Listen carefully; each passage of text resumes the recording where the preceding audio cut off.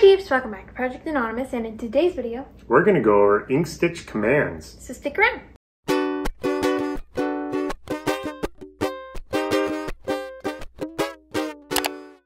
So Megan, what is an Inkstitch command? So Inkstitch commands kind of tell your machine what to do in the process of embroidering. Um, so if you want to, let's say, stop your machine after a little bit, that's where you want to do that.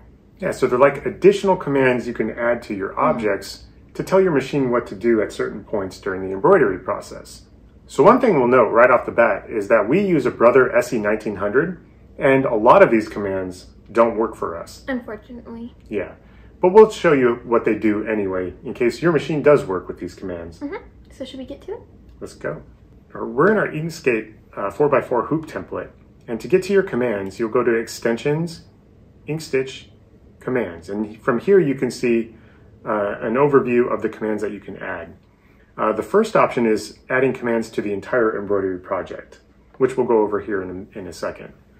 Uh, next, you can add layer commands, and then finally, you can attach, attach commands to specific objects, and that's helpful in kind of laying out uh, how uh, the machine embroiders out that particular object. But the first thing we'll talk about is adding commands to the entire uh, project. So we'll click on add commands. And you can see you have uh, two different options here. One is adding an origin for your embroidery project, which is super helpful. Unfortunately, does not work with our machine. So I applied that, I'm gonna close. What that does is it adds a origin point. So normally our machine, um, it starts, its origin point is always in the center of our hoop uh, template. Um, but if this were to work with our machine, which it doesn't, uh, we could set where our origin point. And Megan, where would that be super helpful with? If we used a multi-hoop design or like a 5 by 12 hoop when we're trying to connect the files and we want to place them at the same point without having to make a little red dot. Absolutely. So if we got this to work with our machine, which it currently does not, but this could be our reference point for both our embroidery files for a 5 by 12 hoop. We could just set this in, you know, the bottom right corner and then move it around. And that could be our reference point, basically. Unfortunately, like I said, it doesn't work with the Brother SE1900, so can't use it. uh, the next command uh, for the embroidery projects is the jump destination for basically stopping. So if you add a pause or a stop to your embroidery uh, object, so your object stops, this is a point where the machine will jump to after that stop. So I'll go ahead and hit this and you'll see what it looks like. And it's this little eject button looking thing. So you can move this anywhere you want and that will kind of tell the machine where to go to, where to move the needle to after it's done sewing out that object. So this could be very helpful in applique projects. Yeah. So you don't have to remove it from the hoop, or rather, you don't have to remove uh, the embroidery from the machine to cut out the applique stuff. Um, you could just have it so that the machine moves it out of the way for you. You can cut out the applique while it's still attached to the machine. Unfortunately, this doesn't work with our machine either. What we found in doing this is it moves it up to that position and then it will sew, which is kind of weird. It yeah. Actually, it sews like a little locking stitch in there and I'm not really sure why it does that. So if you do, make sure to comment down below. The next thing we'll talk about is layer commands. So we often uh, do our designs in different layers so that you know they, the little embroidery projects stack on top of each other nicely. Well, in your uh, layer command, you can ignore layers. So if you have a first layer that's just an image that you're using as a trace bitmap. And rather than deleting the image or moving it off to the side, if you want to keep it there as um, kind of reference material, but mm-hmm. not, but it not get in the way of your embroidery project, you can ignore that layer. So that's pretty helpful in yeah. ignoring a layer. So that's that one. What we found is most helpful for our machines is the attaching uh, commands to specific objects. Uh, to show you what we mean, we're going to go ahead and draw a little circle here. And we'll just show you what this would look like if we were to stitch it out with no commands at all. So we go to ink stitch, visualize, Cineweb Realistic Preview. So a few things we'll point out is the starting point is right here. So this is the first stitch.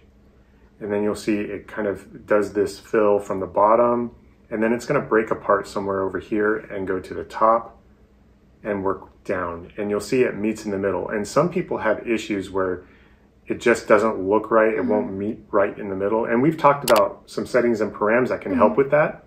But there's also a way to, to make your autofill stitch the way you want. So we're gonna go ahead and close this real quick. And we're gonna go to extensions, ink stitch commands, and then attach commands to selected layers, or objects rather. And what we're gonna do is, for our fill stitch, we're gonna go ahead and define a starting position and ending position. Uh, and then we'll, we'll get rid of the stop for now. Hit apply. close. Okay. So we noted earlier in our simulator realistic preview that the starting position was somewhere over here. Just for show, I'm going to move it over to here. Now, this could be helpful if you're very specific in your design and you want it to stitch at a very specific starting point, uh, maybe next to another object, and that's just where you want it, you can define where that starting position is. But what we found is the stopping position is actually helpful in defining how autofill breaks apart that fill. So if you move it all the way to the bottom or all the way to the top, you'll notice that you'll get one continuous autofill, so it won't break up in the middle. So I'm gonna leave it at the bottom for now. And then I'm gonna highlight all this and we'll go back into our simulator realistic preview and we'll see the difference. So now you'll know the starting position was right where we put it on this side. And this time the fill should start at the very top and it's gonna work all the way down to the bottom because we defined this as a stopping position, not the middle. Conversely, we can move this stopping position all the way to the top. I can select it. We can move it all the way to the top and we can have the fill start from the bottom and work its way up. So now you can see it starts at the bottom and it's going to work all the way to the top. Again, this is just kind of getting a lot of control over your fill stitch. And if you're having problems where you cannot get it to your design to meet in the middle properly and your other settings aren't working, this is just a cool way to have the autofill do the work the way you want it to do without having to mess with manual settings. Um, and then finally, if you did want to break in the middle, I don't really know why, but you could actually define where in the middle by moving that stop position wherever you want it. And I'll show you here. And see, it broke up in the middle, and this time we actually told it to. So, and there's your stop position right where we put it. So kind of cool with your fill stitches. Mm. Uh, the next command, which again, we'll, we'll just talk about um, because our machine uh, doesn't necessarily work with this, but uh, is very helpful. If you have two objects of the same color and your machine just kind of hops on over to it, leaving a big jump stitch across, you can set a trim command uh, by going to adding a trim. So right here you can add a trim command, which will add a little scissor mark. And if your machine is capable, it will cut right there and then move to the separate object. Now our machine doesn't work with this, but what we found is if we actually hit the stop, not the trim, what will happen is our machine will actually stop and our machine does an automatic trim at that point, And then we can hit the start button and it will go on to the next object with the trim piece, so it will be trimmed, mm-hmm. which is kind of nice. Yeah. And depending on how far apart these objects are, the machine may cleanly pull the, the remainder of that trimmed uh, thread out or not. But that's helpful for us. The stop command does work for us. Yeah. Uh, trim cool. command does not, and I'll just pull up just so you can see here. The little scissor mark is what the trim command is. All right, so the next thing, we're gonna need a satin stitch to work right. So I'm gonna go ahead and make a, a kind of a custom satin stitch here. And one thing that I noticed in these satin tools is we can convert a line into a satin stitch, uh, something that we haven't done uh, on this channel yet. So uh, first I'm gonna go, I'm gonna make this a little bit thicker to the thickness that I want it.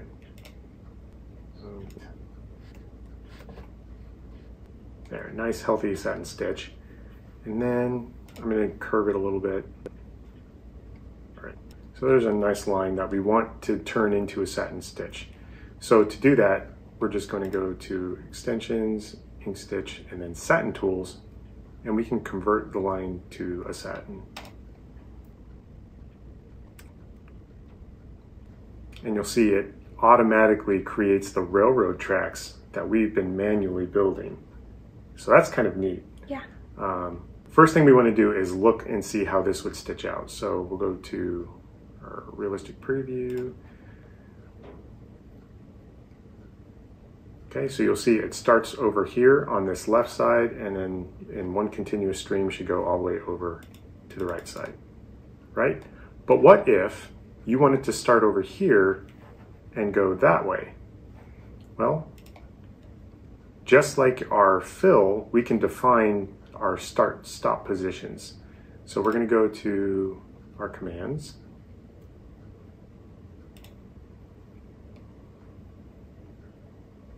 And instead of fill, because this is not a fill stitch, we're going to deselect those. We're going to auto route satin start position and end position. I'll go ahead and get rid of those commands so they're out of the way. And apply. So in this one, let's say I want to start over here.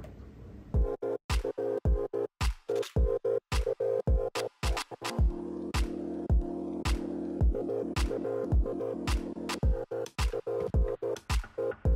right, so I moved it right to the very end. Kind of wonky there. I don't really know why it's so much more difficult with this one than it is with the fill stitches. Um, but it is more difficult getting these to go where you want them to. So for instance, this play one, I'll probably not be able to get it to go. Oh wait, there it goes. Start it there. I've changed where the start position is and where the end position is.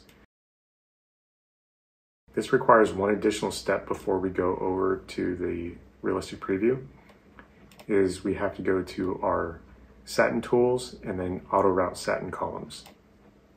So once I do that, it should apply those settings and you'll see these little things move. Do I hit apply?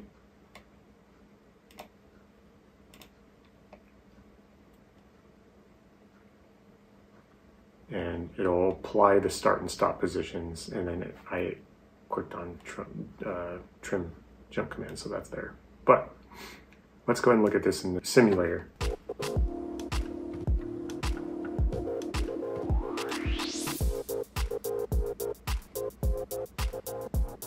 So now you can see it started on this position and moved over into this position. Quite a bit of work to get it to go in that particular direction. And again, that honestly is probably too much work for me to want to do on a regular basis, at least with these satin columns. Yeah. Now the fill stitches, I think are money. Like being able to decide where it starts and stops so you get a continuous flow on a fill stitch. This satin column stuff, I, I don't know. I think it's really not worth it for me right now. I really cannot think of a reason why I would change this. And I thought for a second, maybe it it's, has to do with the lettering stuff.